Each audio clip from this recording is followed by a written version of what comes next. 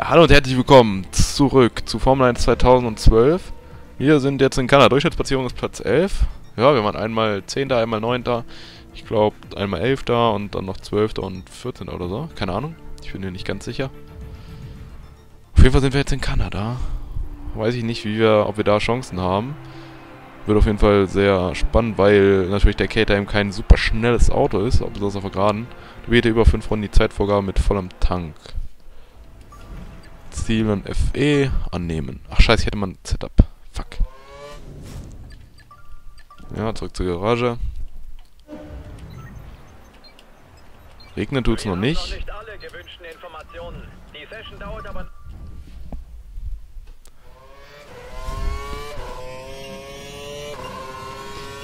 brauchen ein paar konstante Runden, damit wir die Performance-Ausgangsdaten für das Auto bekommen. Okay, alles klar. Kein Ding. Also eigentlich soll es regnen. Im Training. Wow. Okay, ich sollte da ein bisschen langsamer lang fahren. So. Dann schauen wir mal, was so geht. In Kanada. Wo auch super soft gefahren wird. Und ich glaube soft. Ich bin mir gar nicht ganz sicher. Das Auto sich irgendwie so komisch fährt. Warum? Warte mal. Hoffen wir mal, dass es sich jetzt wieder normal fährt. Ja, naja. Dein Speed ist gut, mach so weiter. Ja, jetzt bin auch der erste Einzige, der draußen ist. Ja, jetzt die Frage, ob wir hier in Kanada wieder Punkte holen können, wie hier in Monaco, wo es ein unglaubliches Rennen war. Weil ich würde hier nicht so gern von 24 starten, wenn ich ehrlich bin. Aber Kanada ist natürlich eine Strecke, da wird es noch schwieriger Punkte zu holen, weil hier Überholen wieder sehr, sehr einfach ist oder sehr, sehr gut möglich ist. Einfaches Überholen nie, obwohl mit der ist schon, aber naja. Und deswegen denke ich, haben wir hier auch wahrscheinlich im Rennen dann fast keine Chance.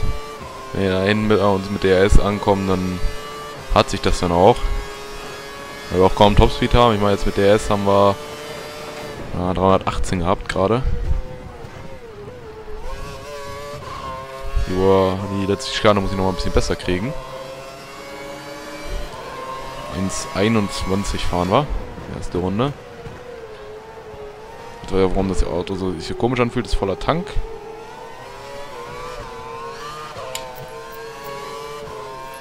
Einfach mal für 76 Runden. Jetzt weiß ich, warum sich das so schwerfällig anfühlt.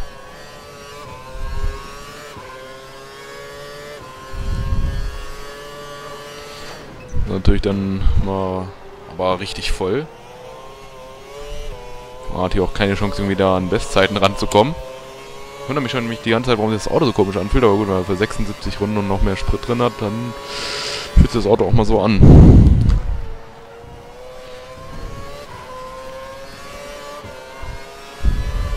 Weil das haben wir ja nicht mal bei den Rennen, weil da ist ja weniger drin.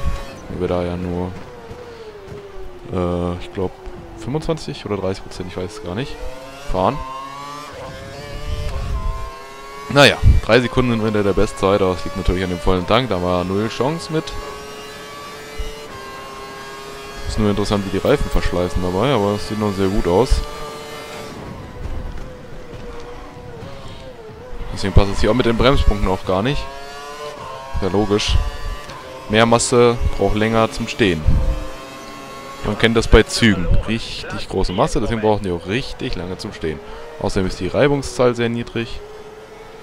Aber egal, das ist Physik und es gehört hier nicht unbedingt ins Let's Player. Kanada, kann zu Kanada sagen, eine sehr, sehr schöne Strecke, die eigentlich auch ziemlich cool ist, ziemlich viel Spaß macht.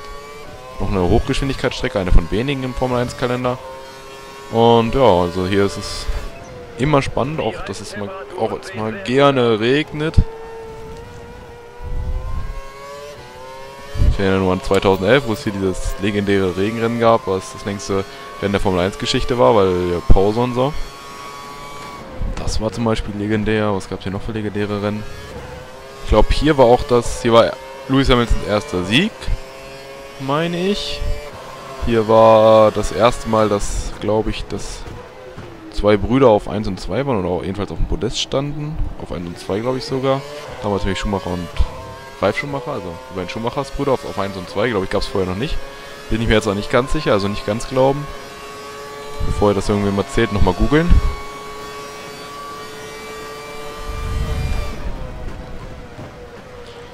Und hier gibt es natürlich die Wall of Champions, die hier 99 geboren wurde, als da alle Champions sozusagen ihre Autos in, reingesetzt haben. Angefangen mit Ricardo Sonda, F3000 Champion, Schumacher. Ich weiß gar nicht, wer den Villeneuve hat das Auto auch da reingesetzt. Dann gab es hier natürlich 97 noch den heftigen Unfall von Panis, wo er sich beide Beine gebrochen hat. Hier gleich an dieser Stelle, also hier. Ja, also Kanada hat einiges an Tradition auch. Ist auch eine schöne Strecke, die auch Spaß macht, die vielen Fahrern auch gefällt, auch schönes Umfeld hat. Oh, Kovalein. Er ist hinter uns schneller als wir. Naja, für uns jetzt momentan wir den Volltanktest.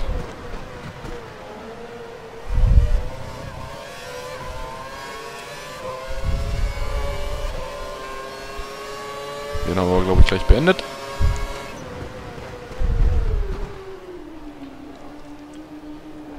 Dann fahren wir durch. Ach, das ist Alonso. Ich dachte jetzt Kovalein fährt durch. Ja, ist der Massa. Fahr durch, Kovalein. Fahr durch, Teamkollege.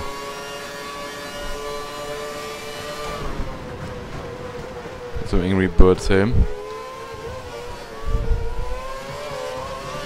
Na, hier so rausbeschleunigen können wir eigentlich was mithalten, aber jetzt haben wir das schwerere Auto.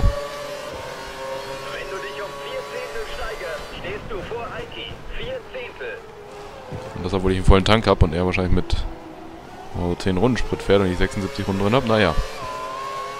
Oh Mann, Heiki, du machst mir gerade ein bisschen hier meinen Test kaputt. Mach mal bitte ein bisschen schneller, Heiki. wir sind schneller als Glock immerhin, der nicht mehr in der Formel 1 ist leider, was mir sehr missfällt, weil ich ihn eigentlich mochte so. Wobei ich auch dachte, das ist also eigentlich ist ein guter Fahrer. Ich mir auch Wunder dass er nicht mehr fährt. So, Button ist jetzt hinter uns, der momentan auf 1 ist. Der findet uns natürlich deutlich zu langsam.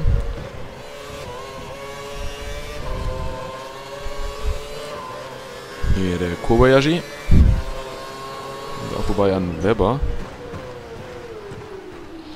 Ja, Montreal ist ja... Montreal, ne? Französisch. Glaube ich.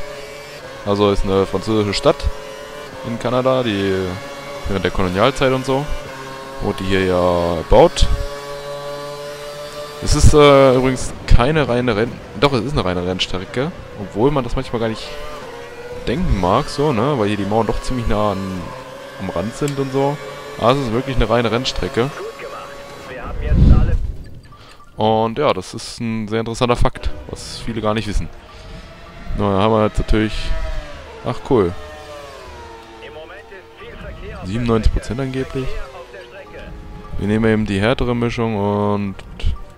Nee, ich habe keinen Bock noch rauszufahren. Wir springen direkt zum Qualifying. Und am Ende hat es mal ziemlich doll geschittet. Gut, wir waren jetzt mal letzter, aber... Auch jetzt ist es bewölkt, aber das sollte trotzdem gehen. Werde 14 oder besser. Weichere Mischung auf jeden Fall. Der.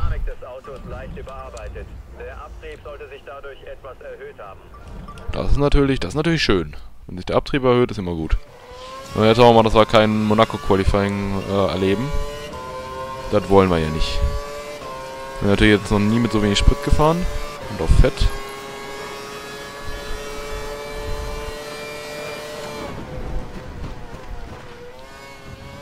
Okay, da kann man hier auf jeden Fall deutlich später bremsen. Na, lasst uns mal auf eine schnelle Runde gehen. In Montreal.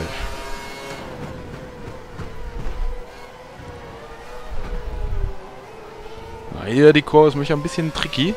Muss man doch schon sehen. Denken wir manchmal gar nicht. Aber auch die hier, weil du siehst nicht genau, wo du einlenkst, wohin du einlenkst. Davor ist nämlich die Mauer. Äh, das ist hier schon manchmal ein bisschen Blindflug. Das hier ist fast dann noch die einfachste Kurve. Auch hier kannst du allerdings viel zu viel Curb mitnehmen und dann hast du auch verkackt. Früher waren hier noch deutlich höher die Curbs. Gut, das waren sie überall. Und dann kommt die Kurve, die fast die so die Mult-Kurve ist. Und hier fährt wirklich der am meisten Mut hat am schnellsten durch. Ja, das war der Hülkenberg. Der uns ein bisschen behindert hat. Und natürlich die Haarnadel. Da kommt es dann wieder aufs Auto an, welches du hast, wie du die fahren kannst. Da ist ja mal der Asphalt ziemlich gebröckelt. Wir hatten hier auch mal ziemlich Asphaltprobleme in Montreal. Ich glaube, deswegen gab es ja auch mal ein Jahr Pause, dass man hier nicht gefahren ist. Bin mir gar nicht ganz sicher. Und jetzt hier die lange, lange Gerade. Wo dann am Ende die Schikane mit der wahrscheinlich berühmtesten Wand der Welt kommt. Und dann ist auch schon eine Runde in Montreal zu Ende, die relativ schnell ist. 1.17.2 sollte doch für den nächsten Durchgang genügen, oder? Jetzt kam noch keiner ran.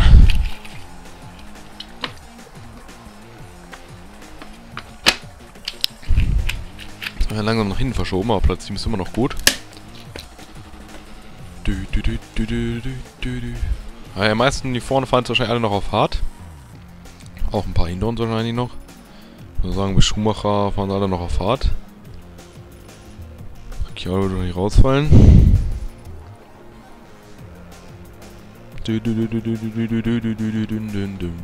Und das war's dann. Q2 schon mal erreicht. Ja, so selbst Kobayashi war auf hart unterwegs. Wir waren schon natürlich schon auf weich, das heißt... Könnte ich nochmal mit der fahren. Dann fahren wir einfach zwei Runs, falls der erste Run nicht so gut wird. weil die haben noch 94%, dann haben wir vielleicht für den letzten nochmal, wenn wir, wenn wir reinkommen sollten, nochmal frische Reifen oder fürs Rennen. Falls wir... Ja.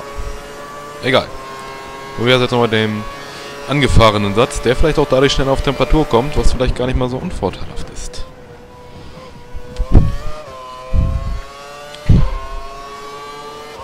Natürlich 80 Zusatz-PS. Und dann geht's los.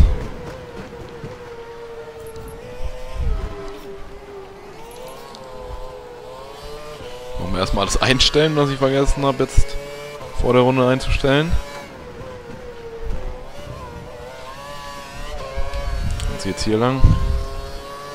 Sehr schön zu fahren, muss man sagen. Macht auch Spaß hier zu fahren.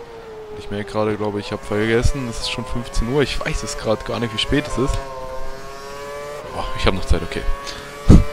Weil ich muss jetzt mal langsam den Assassin's Creed Part und den Formel 1 Part mal bearbeiten, dass die auch vernünftige Namen haben. Werden mich gleich freigestellt. Ah, jetzt konzentrieren wir uns erstmal aufs Qualifying. Können wir in Q3 kommen, sogar vielleicht mit diesem Satz Reifen hier. Das wäre ja schier unglaublich.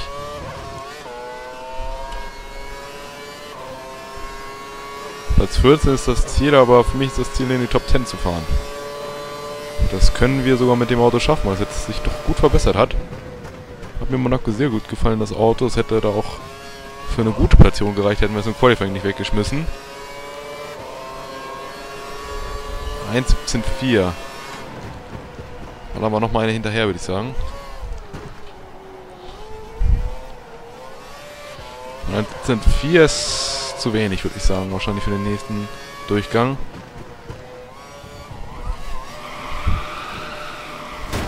Okay, damit hat sich das dann auch mit dem Reifensatz erledigt. Dann haben wir gerade ein bisschen gefickt.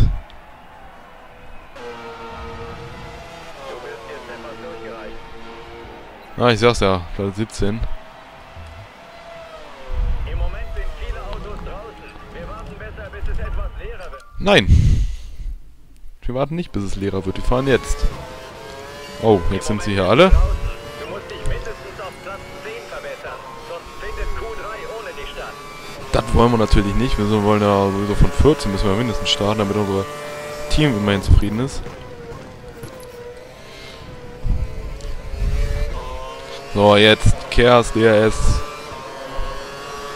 Mal jetzt mit einem ganz frischen Satz nochmal das Ganze versuchen. Alle fahrerischen Fähigkeiten müssen jetzt auf die Strecke gebracht werden.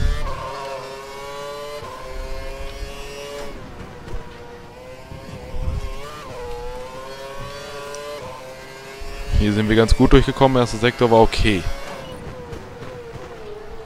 Haben uns nochmal um 15. verbessert. Und damit auf einem guten Kurs. weiß gar nicht, was der Kobayashi jetzt insgesamt gefahren ist. Wir haben jetzt gar nicht drauf geachtet, was wir überhaupt fahren müssen. Ah, da können wir spät erst das DRS öffnen und aufs Kers nochmal kurz drücken. Quer gestanden, das kostet natürlich Zeit, aber wir sind noch 16. vor der Kobayashi-Zeit. Und haben eigentlich im Mittelsektor nichts verloren. Oh, der fünfte Gang ist lang übersetzt. Der sechste auch.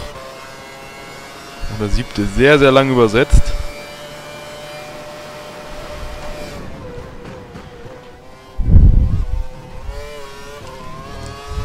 Ah, die letzte Schikane war gut. Ein 17-0 sollte möglich sein. Ein 16 sogar. Wir sind aber mal sowas von drin. Aber mal sowas von drin. Da muss ich sogar meine Stimme heben, so sind wir drin. Ja, Sechster als Sechster in Q3. Du hast Q3 erreicht. Gut gemacht. Das ist natürlich die Frage, fahren wir eine Runde? Machen die Reifen kaputt?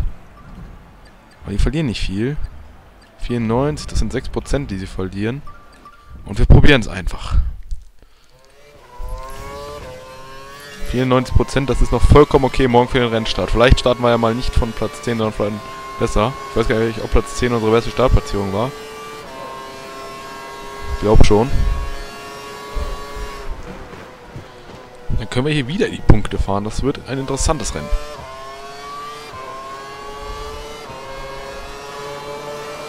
Und los geht's. Jetzt geht es um die Startplatzierung. Können wir vielleicht so echt Platz 6 wiederholen. Aus Q2. Das werden wir ja gleich wissen. In weniger als einer Minute.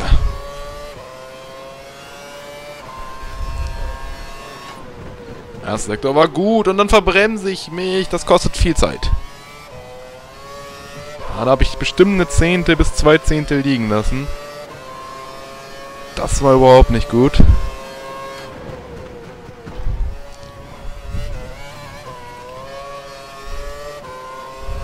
Da geht's ganz gut durch. Der Mittelsektor war dafür fast perfekt, bis auf den kleinen Fehler nach dem am Anfang des Mittelsektors. Ah, die Haaren halt auch gut erwischt. Jetzt geht's nur noch darum, die letzte Schikane. Die letzte Schikane noch vernünftig zu erwischen. Dort das Auto perfekt durchzukriegen.